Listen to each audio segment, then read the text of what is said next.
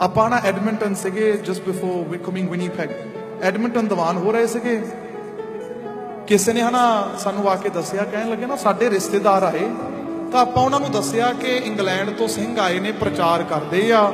English ਵਿੱਚ ਵੀ ਬੋਲਦੇ ਆ they speak in English and Punjabi. Why don't you want to go there let's go and check it out and ਉਹਨਾਂ ਨੇ ਮੈਨੂੰ ਆ ਕੇ ਦੱਸਿਆ, ਕਹਿਣ ਲੱਗੇ ਜਿਹੜੇ ਹਨਾ ਸਾਡੇ ਘਰ ਵਿੱਚ ਪਰੌਣੇ ਆਏ ਸੀਗੇ, ਉਹਨਾਂ ਨੇ ਇਹ ਪੁੱਛਿਆ ਜਿਹੜੇ ਉਹ ਆਏ ਨੇ ਹਨਾ ਇੰਗਲੈਂਡ ਤੋਂ। ਡੂ ਦੇ ਰੀਡ ਹੈਂਡਸ ਐਸ ਵੈਲ ਉਹ ਹੱਥ ਵੀ ਪੜ੍ਹਦੇ ਨੇ ਹੱਥ ਵੀ ਪੜ੍ਹਦੇ ਆ ਐਂਡ ਉਹਨਾਂ ਨੇ ਜਦੋਂ ਮੈਨੂੰ ਇਹ ਗੱਲ ਦੱਸੀ ਮੈਂ ਕਿਹਾ ਵੇਖ ਲਓ ਫਿਰ ਮੈਂ ਕਿਹਾ ਉਹ ਹੈ ਸਿੱਖ ਨੇ ਹੈ ਸਿੱਖਾ ਕਹਿੰਦੇ ਆਪਾਂ ਸਿੱਖਾਂ ਪਰ ਵੇਖ ਲਓ ਕਿਦਾਂ ਦੇ ਕੰਮ ਕਰਦੇ ਫਿਰਦੇ ਆ ਆਖੋ Satnam Shri Waheguru They thought that we read hands. We're palm readers. And guess what? ਹੁਣ ਇੱਕ ਹਾਸੇ ਦੀ ਗੱਲ ਆ ਇੱਕ ਸੀਗਾ ਹਨਾ ਸ਼ਰਾਬ ਪੀਣ ਵਾਲਾ, ਬਹਿ ਗਿਆ ਜਹਾਜ਼ ਤੇ। ਸਾਹਮਣੇ ਦੀ ਸੀਟ ਤੇ ਬਹਿ ਗਿਆ ਇੱਕ ਪੰਡਤ। ਪੰਡਤ ਬੈਠਾ ਸੀ ਸਾਹਮਣੇ ਦੀ ਸੀਟ ਤੇ।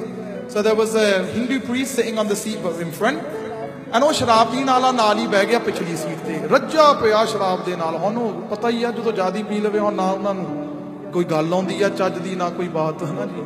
ਸੋ ਜਦੋਂ ਉਹਨਾਂ ਨੇ ਜਿਆਦੀ ਪੀ ਲਈ ਹੀ ਗੈਟਸ ਆਫ ਕਹਿਣ ਲੱਗਾ, ਪੰਡਤ ਜੀ, ਮੇਰਾ ਹੱਥ ਕੀ ਕਹਿ ਰਿਹਾ? ਸ਼ਰਾਬ ਨਾਲ ਰੱਜਿਆ ਪਿਆ ਸੀਗਾ। goes over to the ਪੰਡਤ ਕਹਿਣ ਲੱਗਾ, ਮੇਰਾ ਹੱਥ ਫੜ ਕੇ ਦੱਸੋ ਕੀ ਕਹਿ ਰਿਹਾ? ਪੰਡਤ ਨੇ ਹੱਥ ਫੜਿਆ, ਕਹਿਣ ਲੱਗਾ, ਦੱਸਾਂ ਕੀ ਕਹਿ ਰਿਹਾ? ਤੇਰਾ ਹੱਥ ਕਹਿ ਰਿਹਾ ਆ, ਅੱਗੇ ਜਾ ਕੇ ਤੈਨੂੰ ਹਨਾ ਲਿਵਰ ਪ੍ਰੋਬਲਮ ਹੋਣੀ ਆ। ਲਿਵਰ ਪ੍ਰੋਬਲਮ ਹਾਂ, ਬਿਲਕੁਲ ਸਹੀ ਕਿਹਾ ਪੰਡਤ ਜੀ। ਸੋ ਟਰੂ ਡਾਕਟਰ ਵੀ ਇਹੀ ਕਹਿ ਰਹੇ ਨੇ। It doesn't take a rocket scientist to say that you're gonna have liver failure the way you're drinking. ਜਿੱਦਾਂ ਤੂੰ ਡੱਫ ਰਿਹਾ ਨਾ you don't need a rocket scientist to say that you're gonna have a liver failure. And you know what? Sometimes what they do is just stating the obvious.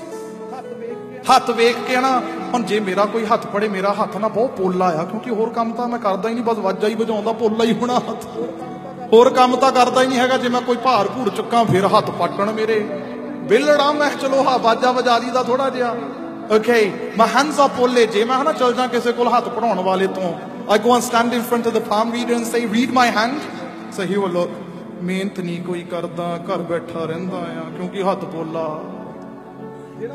ਜਿਨ੍ਹਾਂ ਦੇ ਹੱਥ ਪਾਟੇ ਹੋਣਾ ਨਾ ਜੀ ਉਹ ਆ ਜਾਣ ਉਹਨਾਂ ਨੇ ਦੱਸਾ ਕੀ ਕਹਿਣਾ ਅੱਛਾ ਮਿਹਨਤ ਬਹੁਤ ਕਰਦੇ ਆ ਪਰ ਰਹਿੰਦਾ ਨਹੀਂ ਕੁਝ ਹੈਗਾ ਮਿਹਨਤ ਬਹੁਤ ਆ ਪਰ ਰਹਿੰਦਾ ਨਹੀਂ ਕੁਝ ਹੈਗਾ there is nothing there why because they know if your hands are ripped ਮਿਹਨਤ ਤਾਂ ਕਰਦਾ ਹੀ ਆ ਬੰਦਾ ਜਿਹਦੇ ਹੱਥ ਪੋਲੇ ਹੋਣਗੇ ਉਹ ਤਾਂ ਕੱਖ ਨਹੀਂ ਕਰਦਾ ਬੈਠਾ ਰਹੇਗਾ ਸਾਰਾ ਦਿਨ।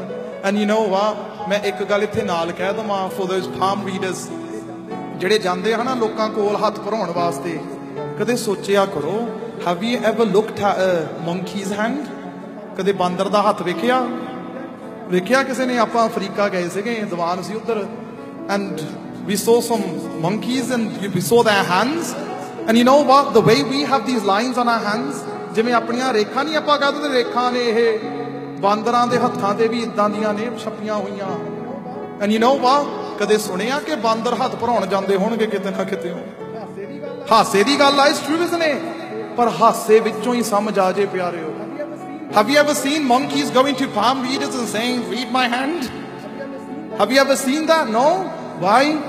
ਦੱਸਾਂ ਕਿਉਂ ਨਹੀਂ ਬਾਂਦਰਾਂ ਦੇ ਹੱਥ ਲੋਕ ਪੜਦੇ ਕਿਉਂਕਿ ਬਾਂਦਰਾਂ ਦੀਆਂ ਜੇਬਾਂ ਨਹੀਂ ਹੁੰਦੀਆਂ ਬਾਂਦਰਾਂ ਕੋਲ ਜੇਬਾਂ ਨਹੀਂ। Monkeys don't have pockets meaning monkeys don't have wallets ਜੇ ਕੋਈ ਤੇਰਾ ਹੱਥ ਪੜ ਰਿਹਾ ਤੇਰੇ ਪੈਸਿਆਂ ਵਾਸਤੇ ਪੜ ਰਿਹਾ ਆ ਉਦਾਂ ਨਹੀਂ ਨਹੀਂ ਤਾਂ ਬਾਂਦਰਾਂ ਦੇ ਵੀ ਪੜਨ ਫਿਰ ਜਾ ਕੇ। ਆਖੋ ਸਤਨਾਮ। ਸ੍ਰੀ ਵਾਹਿਗੁਰੂ। ਆਈ ਸਮਝ। ਜਿਹੜੇ ਲੋਕ ਗੁਰੂ ਨੂੰ ਛੱਡ ਕੇ ਇਦਾਂ ਦੇ ਕੰਮਾਂ 'ਚ ਫੈਰ ਫਿਰ ਰਹੇ ਨੇ। ਮਹਾਰਾਜ ਬਾਣੀ 'ਚ ਕਹਿੰਦੇ ਨੇ ਬਿਨ ਨਾਮ ਹੈ ਜਗ ਕਮਲਾ ਫਿਰੈ। ਕਮਲਾ ਫਿਰੈ। ਕਹਿੰਦੇ ਕਮਲੇ ਤੁਰੇ ਫਿਰਦੇ ਨੇ ਆਖੋ ਸਤਨਾਮ। ਸ੍ਰੀ ਵਾਹਿਗੁਰੂ ਕਿਉਂਕਿ ਸੱਚ ਨਹੀਂ ਜ਼ਿੰਦਗੀ 'ਚ ਆਇਆ। ਸੋ